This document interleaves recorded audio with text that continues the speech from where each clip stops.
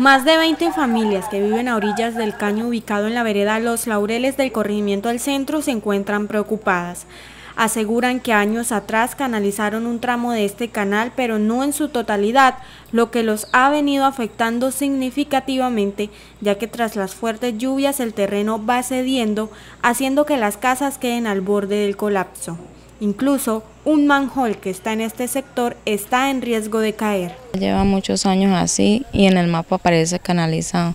Este, nosotros hemos tratado de tener este qué?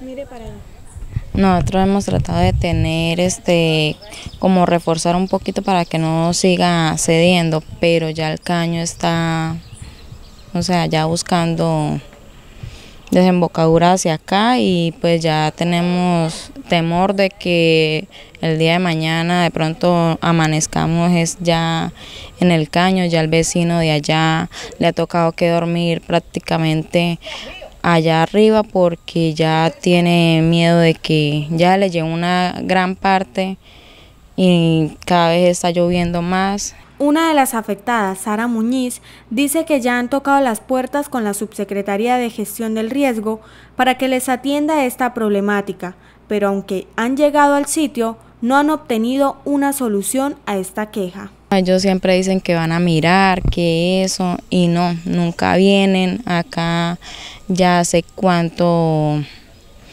este, estamos ahí con ese tema y nada, los políticos vienen es cuando hay elecciones, cuando hay todo eso, vienen acá y que hay, que el apoyo y que eso, nomás vienen por las votaciones y esto ya quedan, veremos. Vuelve y quedan lo mismo. Ante esta situación, hacen una vez más el llamado de auxilio a los entes correspondientes para que atiendan este caso antes que se registre una emergencia.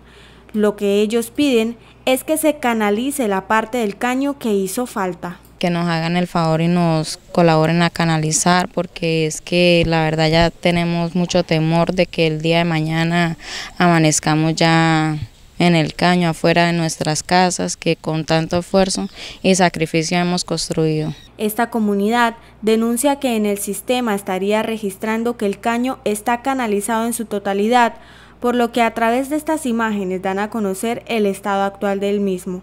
Esperan que los entes competentes los escuchen y se tomen cartas en el asunto.